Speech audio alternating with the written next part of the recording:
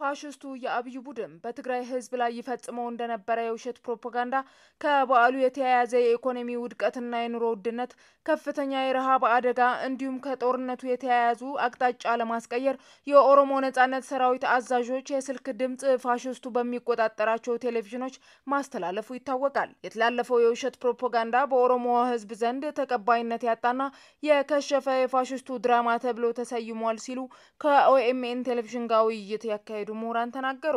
የኦሮሞ ነጻነት ሰራዊት አመራሮቹ ምን ያህል ለህዝባቸው ተቆርቋሪነት እንዳላቸው በውስጣቸው የተፈጠረውን ችግር ጭምር እንዴት ለመፍታት ዝግጁ እንደሆኑና ቆራጥ ለህዝቡ የሚታገል ህዝቡን የማይበድል ከህዝቡ ጎን የሚሰለፍ ለህዝቡ የሚታገል ሰራዊት ለመገንባት ያላቸውን ቆራጥነት የሚያሳይ ነው እንጂ ለቀጣይ ትውልድ ባርነትንና ይህንን ጭቆና እናስተላልፍም ብሎ ራሳቸው ዝግጁ መሆናቸውን በግልጽ የተነጋገሩበት ነው እና ይሄ ለህዝባቸው ያላቸውን አለኝታ ወገንተኝነት ሁሉን ነገር ያሳዩበት ስለሆነ ለእኔ የከሸፈ ነው። ግን ለህዝባችን ደግሞ በመንግስት ሚዲያ ፕሮፓጋንዳ ሲሰራባቸው በነበራቸው ሚዲያዎች ለህዝባችን ይሄን ብስራት እንደ ብስራት ነው የምቆጥረው። ይሄ ብስራት መነገሩ ለእኔ እንደ ጥሩ ዜና ነው መስለው እንትን አለ ማለት ሴም ድራማ አድማጭስ ምን ይለናል ብሎ አያስቡም።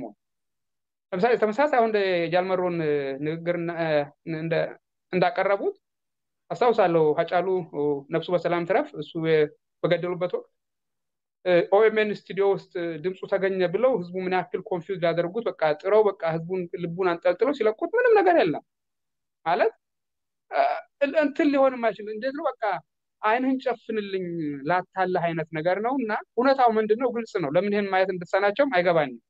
እና ህዝቡ ከእነሱ ጋር እንዳልሆነ የሚያውቁታል ማለት አይደው ነው በጣም ሆነ ህዝቡን ከመናቅም የመጣ ይመስለኛል። ህዝቡ ምን አያመጣም። ከአሁን በፊት የኦሮሞ ትግል ይደበቅ ነበር ያሉት ምሁራኖቹ፣ አሁን ግን አልተቻለም። ኦሮሞ ላይ የዘመቱ ያዘመቷቸው የፋሽስቱ ወታደሮች ደግሞ ልክ በትግራይ ሽንፈት እንደተከናነቡት ሁሉ በኦሮሚያ ላይም ተደግሟል ብለዋል። ይህንንም የኦሮሞ ህዝብ ትግል ከፍ ማለቱና የፋሽስቱ ስልጣን ሊደረመስ መቃረቡን ማሳያ ነው ሲሉ ምሁራኑ አክለዋል። የኦሮሞ ህዝብ ትግል ምን ያህል ደረጃ ከፍ እንዳለ የሚያሳይ ነው። በሁለት ቀን ውስጥ ብቻ ከአርባ ስምንት እስከ ሀምሳ የሚጠጉ ቦታዎች ላይ ወረራ ከፈቱ፣ ጦርነት ከፈቱ። ኦሮሚያ ውስጥ በሁሉም ግንባሮች የመንግስት ሰራዊት እንዳለን ያለው ይሄ ክሽፈት ሲደርስባቸው ምንድነው ማድረግ ያለባቸው?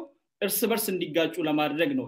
መንግስት አለኝ በሚላቸው ሚዲያዎችና ልሳኖቹ ሁሉ አሰራጭቶ ይሄን ነገር ሊሰራ የመጣው ማለት ነው። ይሄ ሁሉ ነገር የሚያመለክትህ የኦሮሞን ትግል የሚገልጽ የኦሮሞ ትግል መንግስትን የመናድ ደረጃ ላይ መድረሱን የሚገልጽ መንግስት በነሱ መራዱን የሚገልጽ ከዚህ ውስጥ ምንም የሚጠቀመው ነገር የለም። እንደ አገሪቱ ኢኮኖሚ መዳሸቅ እንደማለው ያ ሁላ ወከባ እንደመደረጉ አሁንም ወከባው በየቦታው ጦርነት አለመቆሙ እኔ ሳየው እንደውም ማለት በቃ ከዚህ የባሰ ይመጣል ገና የሚለው ነገር ነው። ይሄ ነገር የሚያመላክተው ነው አገሪቱ ምን ያክል እንደላሸቀች እና አገሪቱ መሪ እንዳጣች ህዝቡ confused አድርገው መግቢያና መውጫ እንዳሳጡ አገሪቷን ምን ያክል እንዳፈረሱ አገሪቷን ምን ያክል ስቃይ ውስጥ ህዝቡን ስቃይ ውስጥ እንደከተቱት ነው የሚያሳየን።